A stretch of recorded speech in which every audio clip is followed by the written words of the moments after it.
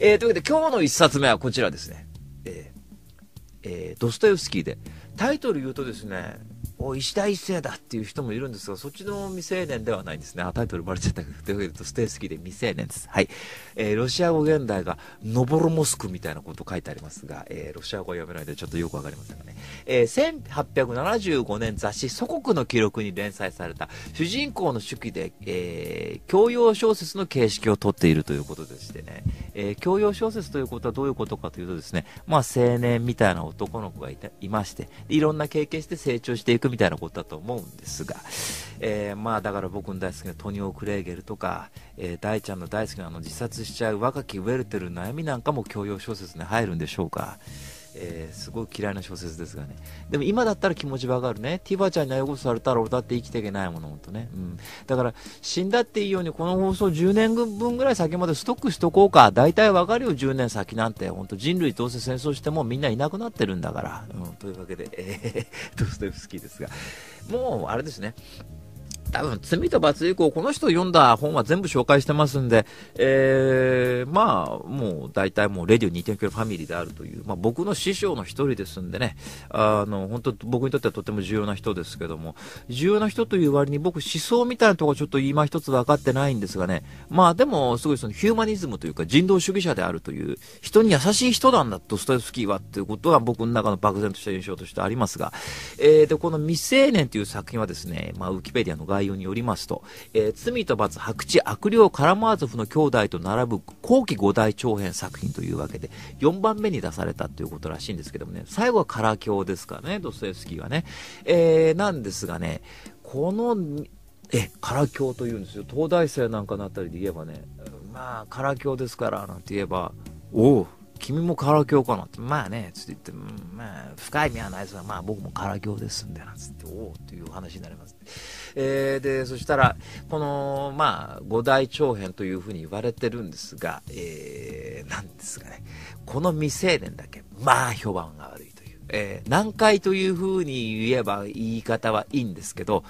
えー、ドストエフスキーという人はですね、えー、これトルーストイの比較を昔菅敦子さんの対談相手の方がしていた、えーえー、意見によりますと、えー、圧倒的にその小説としてうまいのはトルストイであるということをその人は言ってたんだけど、まあ、トルストイってのは天才ですから、まあ、もう本当に小説上手ですよね。もう誰が読んでも分かりやすいように書いて、えー、そしてその崇高なとこまで高められるという、そのもうとても羨ましいその芸術家としてとしての表現の極地に行った人だというふうに思うんだけど僕は。えー、でもそのね、えー、ロシア文学の創益をなすドストエフスキーはさてどうかというとですね、罪と罰なんかいい例ですね。最初のおばあさん殺すとこまで面白かったけど、あと覚えてねえっていう話をよく聞くんですよ。で、僕も最初、一番最初、罪と罰読んだ時そう思ったんですね。で、えー、この五大長編もですね、僕ま全部読みましたけども、この五大長編は、カラ教が一番良かったなって、カラ教はもう絶対間違いない、もう文学史に残る大長、大傑作であるというふうに言えるけども、あの、サスペンスとして面白いというふうに思う、思ったけども、白地悪霊ってのはね、確かに読んでて、ん？っていうふうに思ったのね。なんだかちょっと飽きてきちゃうなって、よくわかんないとこあるな。でも、惹かれるとこがあるんだね。でも、今回の未成年っていうか、つまりドストエフスキーってちょっとデコボコっていう印象があるんだけど、今回の未成年、まあ、デコボコでしてね。えー、で、主人公がアルカージーという男の子なんですけど、で、この人のお父さんっていうのが、マカール・イワノビーチ・ドルゴーキーというですね、あ、違う、えー、っと、あ、アンドレイ・ベトロービチベ・ベルシーロフ。ベルシーロフという人が実のお父さんなんだけども、このお母さんがいるんですね。ソフィアというアルカージーには。で、えー、にもかかわらず、百姓の娘さんだったんだけども、で、えー、この人はマカール・イワノビーチ・ドルゴ、ドルゴルーキーという人と結婚してたの。ちょっと年上なんだけど、だいぶ年上なんだけど、ソフィアにとって。にもかかわらず、えー、地主の、えー、友達であったこのベルシーロフというのがソフィアとできちゃう。で、やっちゃう。セックスしちゃう。で、生まれたのがドルゴールーキー、あ、アルカージーというこの作品の主人公なんですよ。で、えー、一応、義理のお父さんとしては、そのマカールがいて、で、実在のお母さんとしてはソフィアがいて、でも本当のお父さんは、えー、この、ベルシローフという人が実際のお父さんなんだけども、お父さんともお母さんとも離れてちょっと生活することになるんですね。実の父親とも、えー、義理の父親といっても戸籍上の父親か、とも離れてちょっと生活していると、このアルカージーというのはすごい屈折した性格を持つようになるんですよ。ね。まあ、ロシア文学だからみんな屈折してるんだ、大体、本当に。大体素直じゃないから。で、いつかお父さんとか、そのお父さんを取り巻く貴族社会というものに自分は復讐をするのであるという、そういう目標を持って、お父さんにまた近づいてくるんですよ。近づいていくにもかかわらず、ね、だからお父さんっていうのは、その自分の実の父親にもかかわらず自分の面倒を見ずに、またこのベルシローフというのがですね、これがややこしいんだけども、えー、タチアナ・パブ、パ、タチアナという女性がいるんだけども、タチアナ・パブローブナ・プルトーコワっていう女の人がいるんだけども、この女の人のタチアナのおじ、お父さんっていうのはむっちゃ金持ちなの。で、ソコーリ、リ、えー、ソコリースキーっていうね、もう名前噛みそうな老公爵がいるんですよ。で、この老公爵にベルシローフが取り持って、このタチアナに行くはずだった遺産、これちょっと話ごっちゃになってるかもしんないよ、を横から踏んだくろうとしてんの。でも、タチアナがそうはいかないわみたいなこともあったりとかしてて、で、離散の話だけならまだいいんだけど、タチアナってとっても美しい女性なんだけど、このベルシローフがソフィアがいるにもかかわらず、なかなか変わった人だから、そのね、人の奥さん、平気でそのセックスするような男だから、えー、タチアナにすごく惹かれるんだけども、タチアナその時別のちょっと軍人さんと結婚していて、この軍人さんに娘さんがいる、つまりタチアナにとっての義理の娘。この娘とタチアナが自分に振り向かないもんだから、今度この義理の娘を誘惑して、えー、発狂させて自殺に追い込むんですよ、ベルシローフが。ええー、でもこの義理の娘は、今度、ベル、えー、アルカージの今度、妹、つまりソフィアにとっての妹、えー、娘ね、第2子の、えー、今度ね、ソコーリースキー公爵って、ソコーリースキー老公爵と同じ名前してた今度若い公爵がいるんですよね。この公爵と、この発狂した娘ができてるんだけども、アルカージーの妹とこの公爵がまたできてる。で、公爵が、今度そのアルカージーの妹、リザベータに、リーザって言うんだけど、これのまたね、あの、父親になってるんですよ。子供をまた身ごもらせてるという、実にごっちゃごちゃの、その、もう本当にことがあるんだけど、えー、ベルシローフはその立ち穴に惹かれてるでしょにもかかわらず、アルカージーも立ち穴に惹かれるんですよね。だから一人の女の人を親子で取り合うんですよ、これが。で、で、またややこしいことに、アルカージーは、立ち穴、えー、老公爵の、その、老公爵、ちょっともう年いってて、ちょっともうボケてるとこもあるわけ。で、タチアナは実は遺産が欲しいから、どっか老公爵をどっか遠くのその病院にその入れたいわけですよ、本当は。で、遺産だけを本当は踏んだくりたいわけ。で、そういうことを、えー、指示している手紙っていうのをアルカージは実をも、実は言うと持っていて、その、えー、タチアナにとって身を破滅を起こす手紙っていうのを抱えて、またこう、東京に、東京じゃねえ、都会に来て、その、いろんな人のこの、なんだろう、この身の破滅を起こすような、その、力を持ってるね、実は言うとアルカージーは。でも、えー、みんなその渦巻いてる中で、実際来てみると、みんなそう単純な人間ではなかったのだって言って、またこう、アルカージーがいろいろこう、いろんな人からね、影響を受けて、まあ、その成長していくというお話なんだけども、今言ってもさっぱりわけわかんないでしょ？ね？これね、こんなに簡潔にまとめた男はいないと思うよ。これでまた簡潔にまとめてると思うんだけど。とにかく、大して登場人物出てこないんですが、えー、多分全部20人ぐらいかなしか出てこないんだけど、あのね、人物相関図をね、覚えるのがまあ大変なんです。まずそこで。で、またさ、もうそこでさ、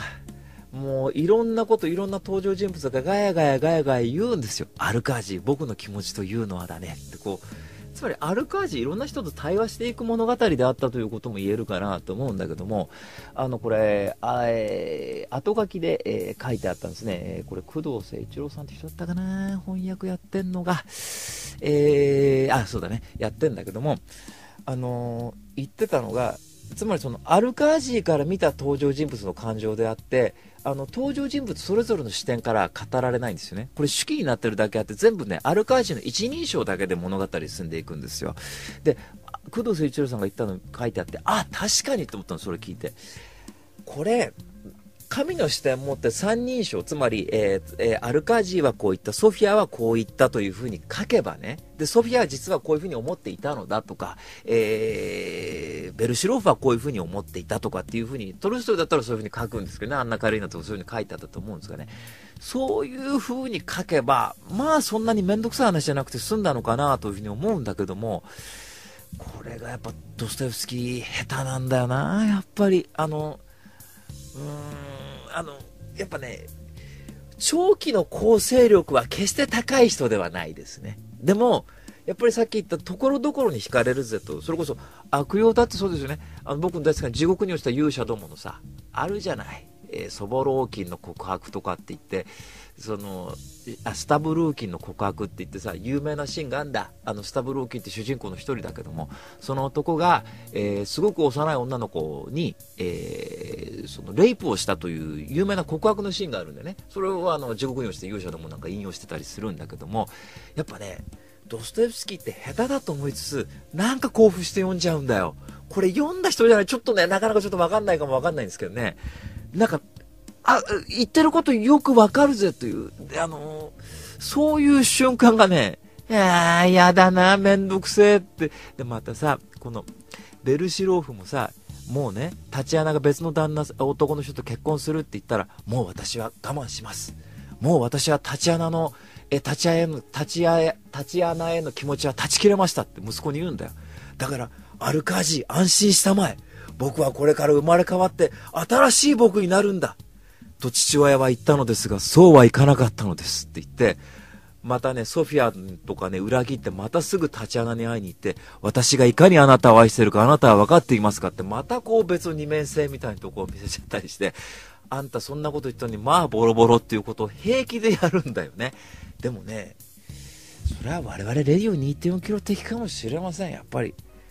こっちではこう言ってたが、10分考えてやっぱ別の行動するっていうことを俺たち3人はやってきちゃうんだね、やっぱりこれは。つまり俺たちってのはさ、そういう破滅したいみたいな、そういうとこってあんじゃん、すごく。だから、三島由紀夫に惹かれたっつうのも俺たちそういうとこあると思うんだよ。自戒したいっていう願望があるよね、俺たち3人ってのは。うん、あの、もういいんだと。トランプにも大統領になってね、これからもしかしたら戦闘するかもしれないと。田中康夫さんはね、あのー、割と期待できるとこもあるんじゃないかなっていう言い方してたりもするのかな一部じゃっていうとこもあるみたいなんだけども。まあちょっと、ちょっと話聞いてみないとわかんないんでね、ちょっとまた今度聞いてみようと思ってますが。まあまあ。えー、そうすると、まあ我々3人ね、その文学好きとしては、気持ちとしてはわかるよね。あの、もう崩れ去ってしまいんだ。崩れ去ってしまいたい。もうすべて投げ打ってどうにでもなっていいんだみたいなさ。うん。でもね、言っとくけどね、ネタバレじゃねえかって話あるけどね、悪霊はちょっと違うし、白地もちょっと違うんだけども、ドストエフスキーってね、結構そのハッピーエンド的に終わる物語も多いね。うん。あ、地下室の手記なんかでも違ったな。俺とうちゃん大好きなね。あの、同窓会に呼ばれて、いや、僕呼ばれてないですよ。いや、だ、だってって言ったやつね。いやいやいや、僕だって彼とは仲いいんだから。呼んでくれなきゃって別に大して仲良くないやつのやつ行ったりとかするやつ。好きだったなあれ、えー、これでもそういう五大上演ってあんま笑える要素はないのかな、うん、悲劇っていうとこはあるでしょうね、えー、金貸しのおばあさん殺したり、えー、4兄弟3兄弟のお父さんがいきなり謎の死を遂げたり、えー極左的な集まりっていうか社会主義者みたいな連中が、えー、内毛場やって仲間殺したりすごいピュアな気持ちを持ってロシアにこう戻ってきたらその都会に幻滅してまたこう発狂して、えー、戻っていったりとか、えー、それに比べたらまあ今回の作品まあ良かったの良かったとこもあるのかなというふうに思うんだけども。えー、まあまあまあ、とにかくね、えー、この作品だけ、なかなかその小説っていうか、え、新潮文庫の版が重ならずに、69年以来ずっとその絶版だったっていうぐらい、まあ一番人気ない本ですから。えー、まあ評判悪いですけどね。まあちょっと時間かけて、僕これ上下巻なんですが、多分2ヶ月ぐらいかけてようやく読み終わりましたんで、まあ時間かかりますよ。ドストエフスキーで大体すぐ読んじゃうんですけどね。えー、まあまあまあ、とにかく、えー、ドストエフスキーですから、ちょっと、えー、気になった方読んでみたらいいんじゃないでしょうか。でも一番最後でいいと思います、読むのは。新潮文庫の並びで一番最後でいいと思いますんで、まあ気になった方、ぜひぜひ。はい。というわけで、えー、今日の一冊目は、ドストエフスキーで、未成年でした。